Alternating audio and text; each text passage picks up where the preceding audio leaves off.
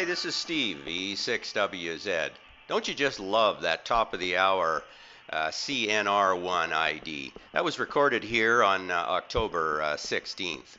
Uh, hey, look, I want to talk today about how I use the program called uh, Jaguar. Uh, to, uh, in this case, talk about reviewing WAV files. Uh, uh, you know, using Jaguar as a WAV file editor to quickly review recorded files in particular. I mean, Jaguar can be used to for live listening, but in this case, I want to show how I use the program for navigating and instantly moving across time in minutes and days, and also across. Uh, uh, uh, frequency to looking for parallels um, using the loop function and the parallel function built into the program. Let's get started. I did make an earlier video uh, talking about how to set up MessStore to do recordings, so I'm going to assume that you've uh, uh, made, uh, made your recordings as, as desired. Um, one other thing I did talk about was how to set up the scan function. That's this little S button here. This has been changed. There's a new functionality for this. I'm using the old system, but uh, either way, uh, you do want to make sure that you've invoked what's called a live scan so that during your recordings you've preserved these spectra files, and I'll talk about that in a minute. But also be careful and be aware that you must select, uh, you know, your preferred medium wave split, either medium wave 9 or medium wave 10. In my case, of course, I'm I want to make sure I'm scanning uh, medium wave uh, 9. Uh, so these, uh, once you've done this, um, there will be, just so you know, uh, you will have defined what location uh, all of these will be uh, um, stored. In my case, I call it Perseus recordings. And for each day of your recording, there will be a folder. And for example, in that day, there will be all of the WAV files, which are the actual recordings, but also a folder called scans. And this is the folder which uh, uh, contains the, uh, the spectra files. Uh, it- it's completely transparent. I'm just pointing this out just so you know that that's where they exist. This is an image of the Jaguar YAS log, stands for yet another spectrum log. I don't understand why, but anyway, that's the name of it. And um, I've talked about this before as well, but it's it's reached by this button up at the top. You'll see YAS log, and and you click that, and that will. Uh, these are always being generated, whether you're recording or not, and uh, it's basically an indication of what channels are likely uh, yielding uh, audio. You'll notice on the left here this uh, this this red line. This is called the JIX, uh, which is kind of like a propagation uh, indicator. And you know, the greater the number, the more likely there are uh, stations with with audio. Uh, so this is uh, October 14th. You notice if I click. Click here. I toggle now to the 15th. You notice the JIX is pretty pretty decent, and uh, then the uh, the 16th. It's uh, you know kind of an interesting bump right here, right ar- uh, at the top of the hour. I'll often use this to uh, give me an idea whether you know it's a quick a quick look to see if this is worth these this is worth having a more detailed look at. We can click any one of these frequencies, for example here, and I can start to listen to the to the audio here. Well, one other thing we can do now is press the E button. I just press the E on the keyboard, uh, and that'll automatically uh, invoke the spectra log. You could also click it up here. And so this is the actual uh, rendition or representation of the audio on down at the bottom here, uh, 1305. Uh, these three days uh, is what I'm going to show you how I move around these three days as, as an example. I'll just show you here what I've been doing here lately has been using these three days and going through and trying to find some IDs. And, uh, you know, in the course of only two days, I've already uh, ID'd um,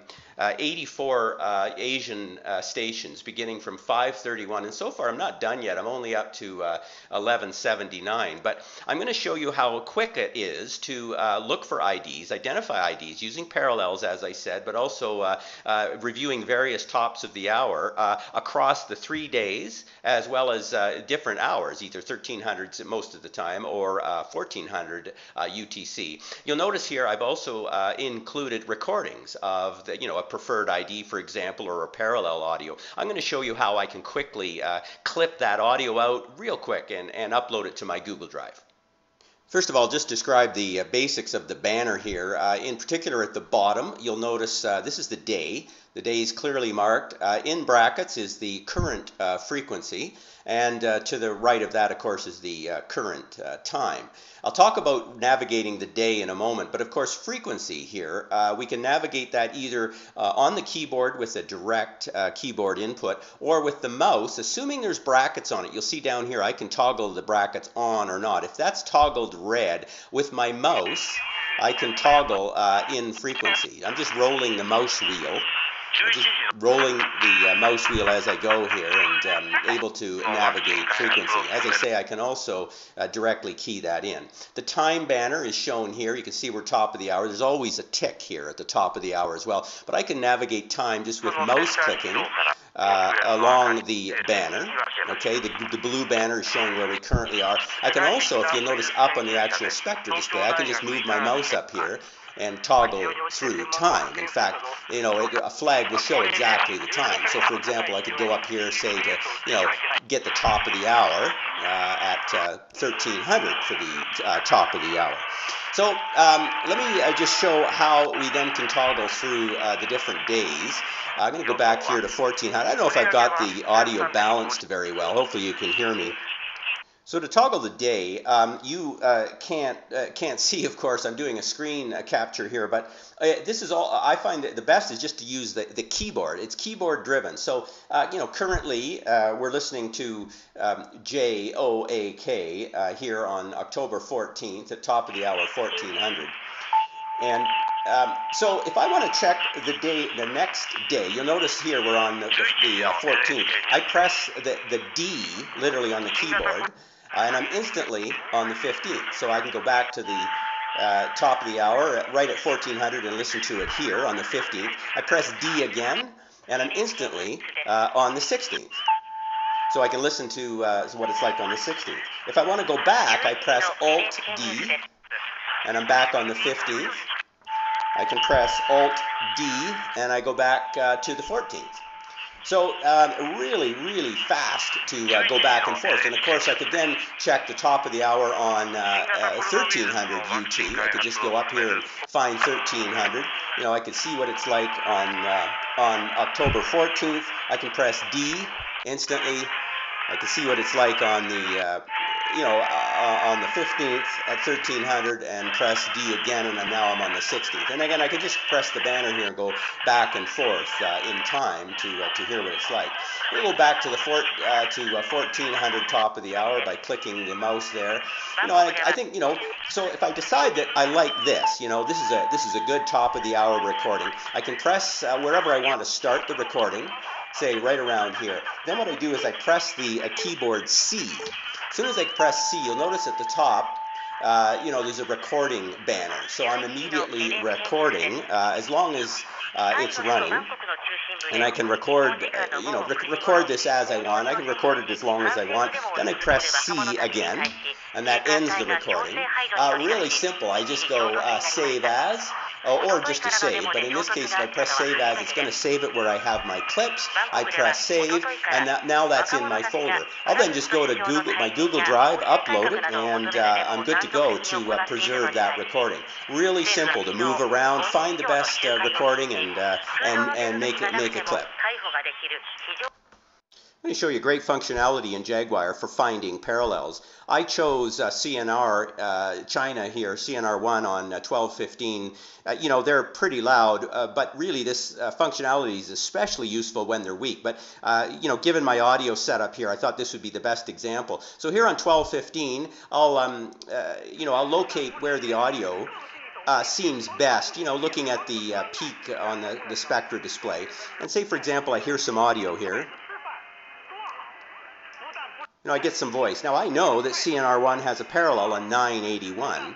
So what I can do is I go into the frequency banner here. I put my cursor at the 1215. I key in 981 and press return. So now I'm on the parallel frequency 981 and I can click on the time banner back and forth. And I can listen. I say, well, gosh, that sounds like the same channel. What I then do, notice here below the, the banner, there's a parallel symbol, a little black button. I press that and I'm instantly now going to be able to flip back and forth. If I roll my mouse wheel, all right, I'm instantly back on 981. If I roll my wheel, I'm back on 1215. So I can just roll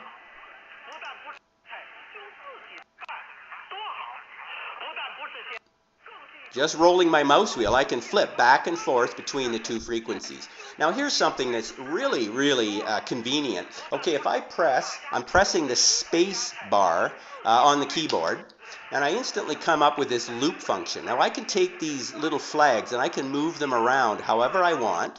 All right, I can make them really close. Say, for example, like let's just get this little uh, little chunk here of audio. So I got that little chunk playing. Then I take my mouse wheel and just flip back.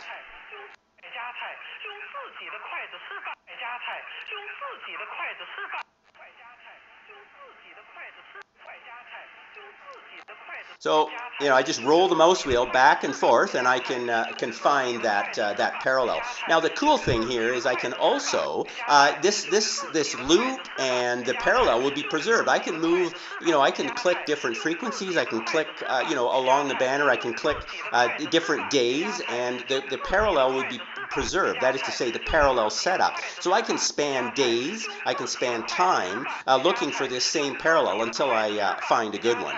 Uh, now, if you want to get rid of these flags, uh, just highlight one so it's red and press escape, and then we're uh, out of the uh, loop function. Great setup for looking for parallels. Super, super, super convenient. Okay, guys, I think that's enough for now. Uh, I don't want the video to get too long. Hey, look, when it comes to Jaguar, I uh, have only been using the program here for about three months. I'm really just getting started. The thing with Jaguar is it's a little bit of a learn on your own. Uh, the, the uh, Jaguar user group is very helpful if you have any specific questions, but uh, even though it's a very strange, uh, well, a bit unusual format, a little bit outside of the normal Windows uh, program type format, it really is a powerful tool, and usually you can figure out how to get something done if you dig uh, deep enough. It sure is, uh, sure is a convenient program. You know, I got to be honest. You know, if you're dealing and only using the Perseus software, I mean, by the way, Jaguar works only with the Perseus radio, but if you're just using the original Perseus software to review files, I mean, come on, guys, think about it. I mean, you can't really go back and forth outside of one file. Every time you change and move outside of a file, you got to load that file. And I mean, when I, based on what I just showed you, I mean, I can zip back and forth between days, between hours, between frequency, between time. I can do parallels. I mean, extremely powerful. And uh, frankly, I would think, uh, you know, just using the Perseus software standalone is pretty, pretty yesterday and, and pretty archaic compared to the power of Jaguar. 73 guys, this is Steve, uh, VE6WZ. I got to figure out what this crazy music is here on uh, 1575.